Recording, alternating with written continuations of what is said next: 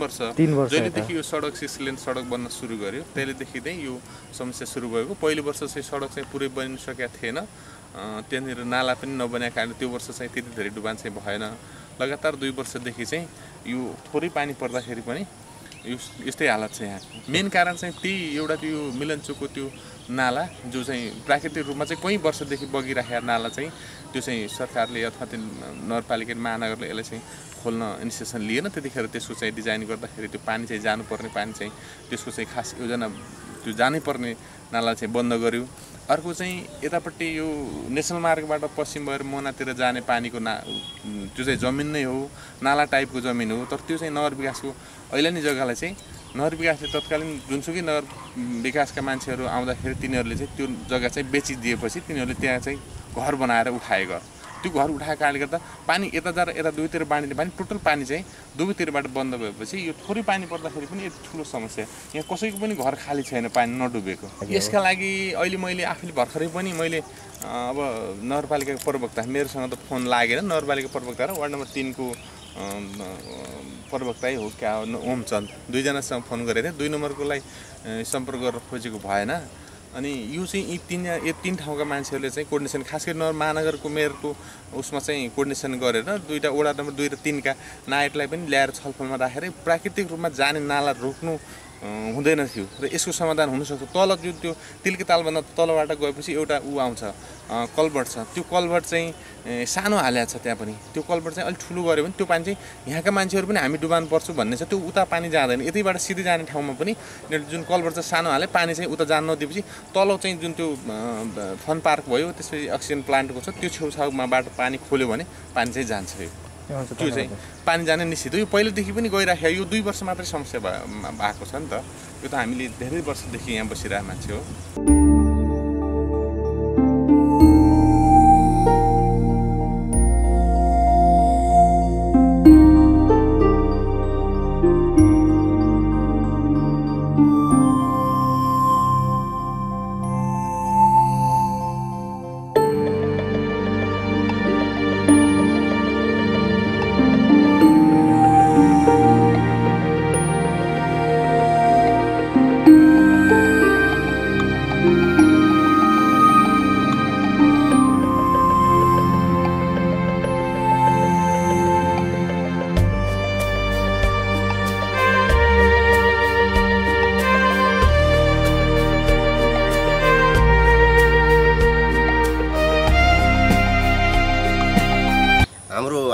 आवाज अथवा यहाँको समस्या स्थानीय तहलाई थाहा हुँदा हुँदै पनि समयमा यसलाई निकास नगरेकोले यो समस्या सिर्जना भएको हो। विशेष गरी वार्ड नम्बर दुई र तिनको बिचमा पर्ने एउटा नाला सिक्स लाइनमा एउटा नाला छ। त्यो नालालाई वार्ड नम्बर तिनका वार्ड नम्बर दुईका स्थानीय बासिन्दाहरूले अवैध ढङ्गबाट बन्द गरेका कारणले यो समस्या सिर्जना भएको हो।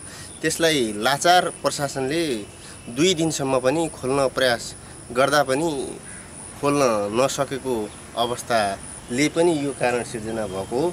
अब लगत्तै यही अवस्थामा पानी भ डुबान हुने हो भने यो नजिकै यो विद्युत प्राधिकरण छ। यो विद्युत पनि बन्द हुने सिर्जनामा अथवा धनगढीवासीहरूले त्यो समस्याको खेप्नुपर्ने बेहोर्नुपर्ने समस्या सिर्जना हुन सक्ने प्रबल सम्भावना छ।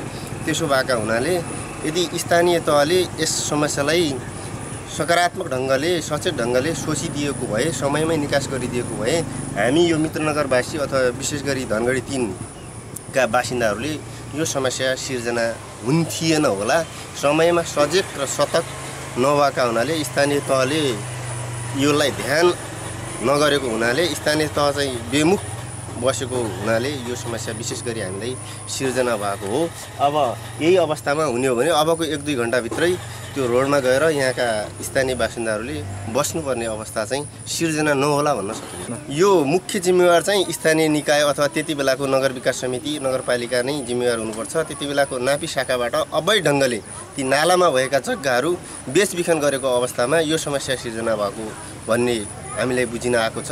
ती त्यसमा चाहिँ मुख्य जिम्मेवार चाहिँ यो नगर विकास समिति धनगढी उपमहानगरपालिका यो चाहिँ जिल्ला प्रशासन कार्यालय यी कार्यालयहरूले जिम्मेवार रहनु पर्दछ र त्यसको यो सम्पूर्णको क्षति क्षति चाहिँ को क्षतिको चाहिँ सन्तुलन गर्न अबको मुख्य जिम्मेवार भूमिका चाहिँ विशेष गरी नगरपालिकाका स्था नगरपालिकादेखि लिएर जिल्ला प्रशासनले यसको भूमिका निर्वाह गर्नुपर्छ